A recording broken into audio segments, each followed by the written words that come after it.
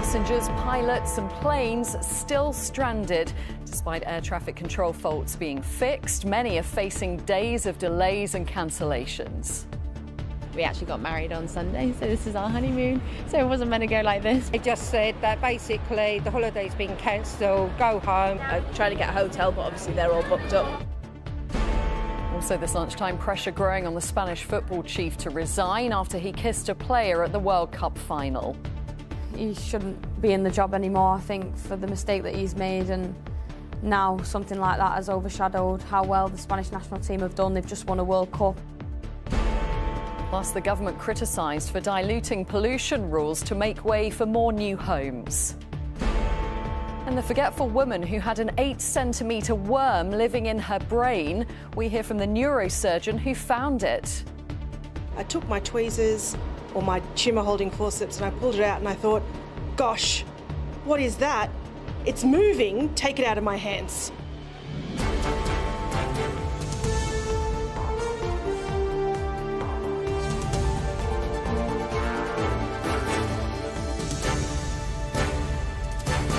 This is the ITV Lunchtime News with Kylie Pentelow. Good afternoon. Now, the initial problem may have been sorted, but still there are thousands of people delayed and stranded at airports this lunchtime after the UK's air traffic control system went down. Significant disruption is expected to last for days, with pilots and planes in the wrong place. In a moment, we'll be hearing what you should do if your flight was cancelled. But first, Aisha Zahid reports on the travel chaos. For thousands of passengers, the chaos continues. Across the country and around the world, the knock on effects of yesterday's technical fault in UK air traffic control systems are being felt. In Majorca, Melanie and her son James stayed at the airport overnight, waiting to hear more on when they can fly home. Just disappointed and let down and absolutely exhausted. I've got an 11 year old son who's had to sleep on the floor in the airport. I'm on my own with him, so yeah, it's just not ideal and just not good customer service. With more flights cancelled at UK airports, many are still miles away from their destinations with more questions than answers. We're trying to get to Peru. Um, we actually got married on Sunday, so this is our honeymoon. So it wasn't meant to go like this. We're waiting to have like the cancellation on our phones, so then we can book the hotel. But on our phones, it still says the flight's going, but they keep saying that the flights are cancelled. All flights are cancelled. Uh, we were hoping to be in Greece this evening. That was it. But um, yeah, it doesn't look like it's a possibility at this minute in time. National Air Traffic Services, or NATS, fixed the glitch that caused all of this within several hours. But across airports, including Newcastle, delays piled up. For passengers waiting here and further afield, minutes turned into hours. For some, hours have turned into days. The next available flight from where we're staying back to London Gatwick isn't till Sunday, I believe. So we're trying yeah, we're trying to find an alternative flight. But with two young kids, it's um, While some passengers stayed at airports overnight, others were forced to book hotels, footing bills for their accommodation and food. Airlines are under pressure to step in. The airlines have a responsibility to get them home, uh, either on a new flight or on a flight with an alternative airline. And if they have to stay overnight, their airline has to pay for their accommodation and provide them with food and drink as well. Airports and airlines say they're working to resolve the backlogs, but for some, that wait will feel endless amid warnings of more significant disruption ahead. Aisha Zahid, ITV News. Well, Callum Watkinson is live at Heathrow this lunchtime. Um, Callum, what's the situation there? Well, I've been for a look inside Terminal 5 this morning. It does support that idea that systemically things are back to normal. Uh, in departures on a board containing 87 flights, only three of them were showing as cancelled. The problem, as we've been hearing, is this backlog. The terminal was absolutely stuffed with passengers with, on, from flights that were cancelled yesterday, all trying to get on uh, planes today, many of which are already full. Now, the advice from airlines and airports up and down the country uh, is please don't come to the airport if your flight has been cancelled. Uh, in terms of the wider picture, though, the Civil Aviation Authority is now investigating what's happened. Uh, the government has asked them to submit a report as soon as they can. There are reports, though, uh, this lunchtime, Kylie, that an inputting error by a French airline may have uh, led to this situation. That will obviously form one of those, one of the lines of inquiry for that investigation, but it's too early to say right now. Okay, Callum Watkinson, thank you. So, what are your rights if you've had your flight delayed or cancelled? Or for more on this, joining me is travel expert Paul Charles. Thanks very much for coming in this lunchtime. People may expect that they automatically go to their airline and get their money back when this happens. That might not be the case, though. No, that's true, and it depends on each case, of course. But generally, there'll be no compensation payable in this particular case because it wasn't the airline's fault. The airlines say this was the fault of NATS, who run the air traffic control software.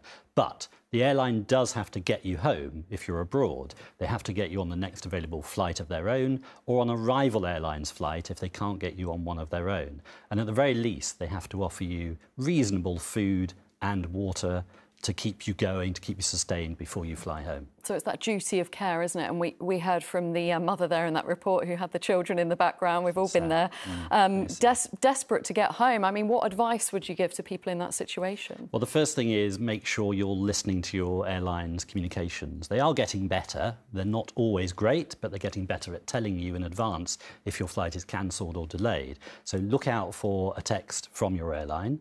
Do not cancel the flight yourself. If you cancel, you're then liable for any other costs related to that booking, and the airline will wash its hands of any hmm. uh, money due.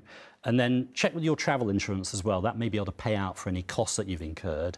Do keep your receipts uh, and any costs that you've had to lay out, keep evidence of it, because you may then be able to claim that back from the airline in future. And is it true that if you accept maybe a hotel from, from the airline or food and, and vouchers, then that might come off any compensation that you might be entitled to?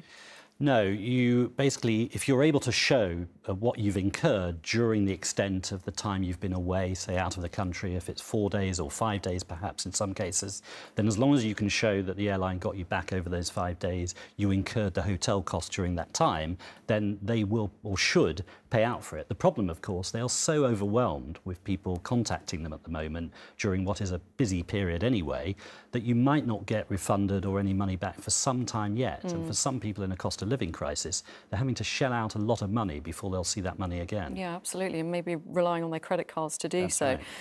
Uh, we know that it can be very hard to contact airlines. Mm. Most operate an online business now, don't they? Yeah. But if would you recommend that you do call your airline if you're worried maybe about your flight departing over the next couple of days? I would not call the airline because you're putting more pressure on the system. I've heard stories this morning of people waiting two hours before the phone is answered.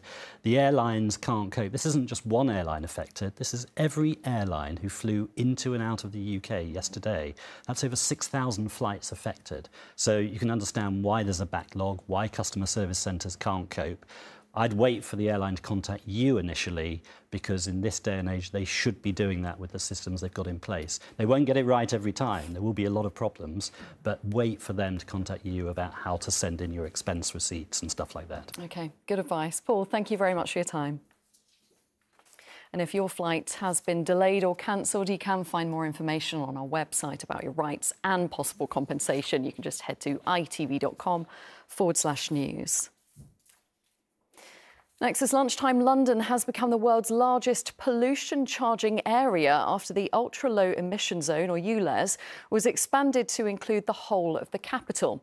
The scheme, aimed at improving air quality, charges people £12.50 a day for driving vehicles that don't meet certain emissions standards.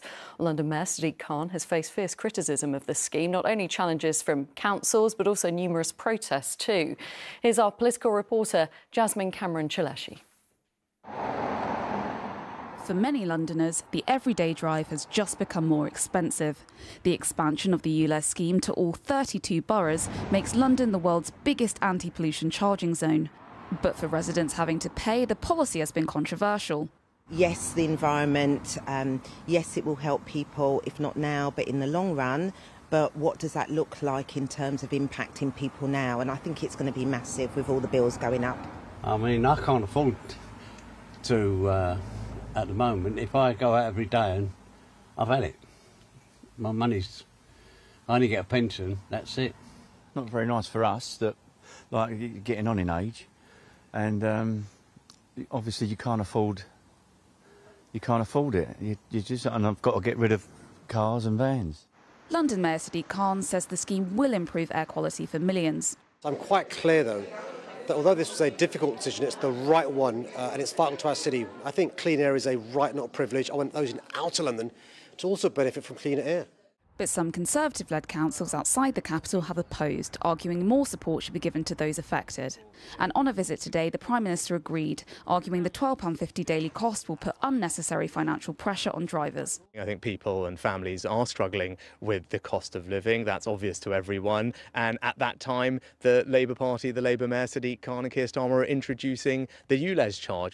Health experts say air pollution is linked to conditions such as asthma and believe the scheme will benefit London as well as neighbouring areas. So ULEZ, I think, is an important first step uh, in getting rid of the most polluting vehicles in London. It's very clear that the diesel vehicles, the older diesel vehicles, were producing more particles, and especially nitrogen dioxide, both of which are uh, toxic, uh, and they, they needed to be removed. In the meantime, local councils across the country and the government will be examining the effects of the scheme closely as authorities seek to balance environmental commitments with cost of living concerns. Jasmine Cameron Chileshe, ITV News, Westminster. An inquest into the death of 10 year old Sara Sharif has been told the cause has yet to be determined but is likely to be unnatural. Sara's body was found at a house in Woking on August the 10th. Police in Pakistan are now widening the search for her father and two other family members who fled the UK the previous day. Pakistan's former Prime Minister Imran Khan has won a significant legal battle. An appeal court has suspended his corruption conviction and three year prison term, but it's not yet clear if Khan will be released from prison on bail as he faces several more charges. And James Cleverly is heading to China tomorrow, the first trip there by UK Foreign Secretary in more than five years. The Foreign Office says the trip will strengthen channels of communication and protect British interests. Cleverly says China's increasing global influence comes with responsibilities. Now to the scandal involving Spain's football chief. In a major U turn, members of the Spanish Football Association are calling for Luis Rubiales to resign after he kissed player Jenni Hermoso at the Women's World Cup. He insists it was consensual. She says absolutely not. Rubiales has been defiant, refusing to step down. Meanwhile, the Spanish Women's World Cup team has threatened not to play for their country until he goes.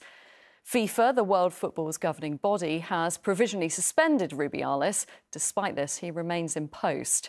Spanish prosecutors are also investigating whether the incident amounts to sexual assault, while his mother locked herself in a church and started a hunger strike in protest.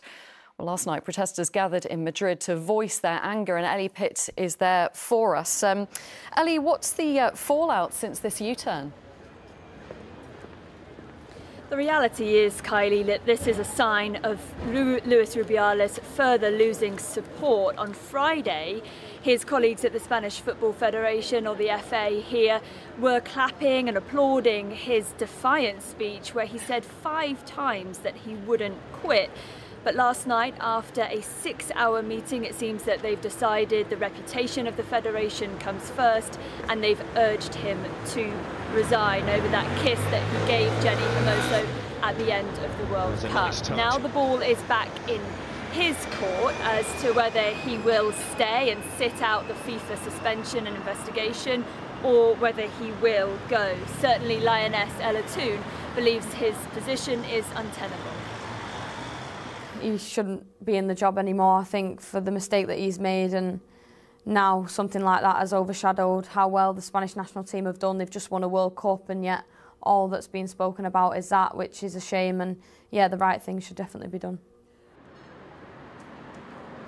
Back in Spain, it really feels like there is mounting pressure on him to go. Last night in Madrid, there were protests in the street where women had come out and wanted to march about his actions. And while he decides whether to stay or go. The potential for the disruption in Spanish football is considerable. The president of the Women's League told me that while 50 players, more than 50 players, uh, are refusing to play for the national side while he's still in position. What happens when they're due to play in a couple of weeks' time at the international break is definitely still unclear. Ellie Pitts in Madrid, thank you very much. Still to come this lunchtime, ripping up environmental rules to build new homes. Campaign groups say it'll damage our waterways. And The stuff of nightmares, the worm that was living in a woman's brain for two months.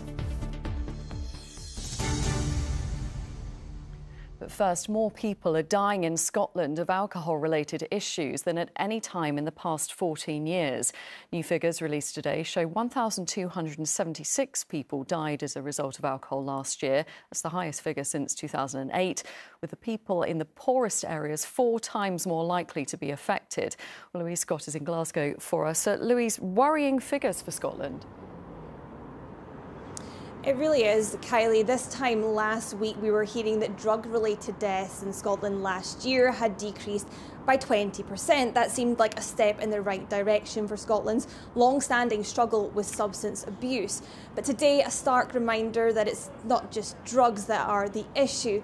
Alcohol related deaths last year were actually higher. Now, minimum unit pricing was introduced in Scotland in 2018. That added 50 pence for every unit of alcohol in a drink. The idea to decrease the sales of cheap drink that had high al alcohol content. It's been deemed generally as a success, but I asked the Scottish Government how that could be if deaths are still on the rise. I think the Public Health Scotland um, report and evaluation of minimum unit pricing um, shows us that it's estimated to have saved hundreds of lives every year. So I think that we have to recognise that those deaths might have even been higher had we not had minimum unit pricing in place. But it's only right that we do a full and thorough evaluation of, of minimum unit pricing and decide um, how that's going to continue in the future. Well, charities involved in the recovery sector say these figures are unacceptable and they believe the Scottish Government has taken the eye off the ball when it comes to alcohol to focus on those drugs deaths. They're asking the Scottish Government to increase the minimum unit pricing next year from 50 pence to 65 pence and combat the reduction there has been in access to alcohol services over the past decade. Louise Scott, thank you very much. The government has been accused of ripping up pollution rules in order to allow more houses to be built. Ministers have scrapped an EU rule that regulated the amount of chemicals allowed to flow into rivers from new developments. Up to 100,000 new homes could be built by 2030. Well, our science correspondent Martin Stew is in Winchester for us this lunchtime. So, Martin, this has caused quite a bit of controversy. Absolutely. We've got friction here between the need to build new houses, which lowers prices and improves the housing stock, and the need to protect the environment. What the government says is they've been missing housing targets for a long time because there's too much red tape. One bit of red tape was introduced in 2017 when we were still in the EU, and that means that house developers aren't allowed to release nutrients into waterways uh, from things like wastewater because that can make the rivers go green and potentially lose oxygen, and maybe fish could even die. But developers are being scared off because they're having to pay huge sums of money. So what the government says it's going to do is row back on that policy and invest money elsewhere. They say that that will more than offset any pollution. They say will be small amounts working its way into the river. But needless to say, environmental campaigners are not happy about this at all allowing polluters to go ahead and increase the toxic burden on our waterways in the promise of some long term hope of increasing protection and pollution reduction elsewhere. That's simply not acceptable in a world where only 14% of our rivers meet good condition. Now, the government says that this is the right thing to do. It'll stimulate the economy and that they are, as I said, mitigating any environmental impacts. But we know that there is a lot of political pressure. People don't like the fact that sewage and nutrients are ending up in our waterways and in the sea. So it is a big issue which continually will run for a little bit longer too. Yeah, indeed. OK, uh, Martin Stew in Winchester, thank you very much. Just a warning for you if you're having your lunch, you might not like the next story. We know that neurosurgeons are no strangers to unexpected problems. The brain is, of course, the most complex organ in the body after all. But a team of doctors from Australia were left stunned when they spotted something alive and wriggling inside the head of a patient. The woman had been suffering a whole host of symptoms, but no one could have thought that they were caused by an eight centimetre worm. Nick Wallace takes up the story. Eight centimetres long, red, and pulled alive from an Australian woman's brain. I dissected around the abnormal area that you could see on the scan. I thought, gosh, that feels funny. You couldn't see anything more abnormal.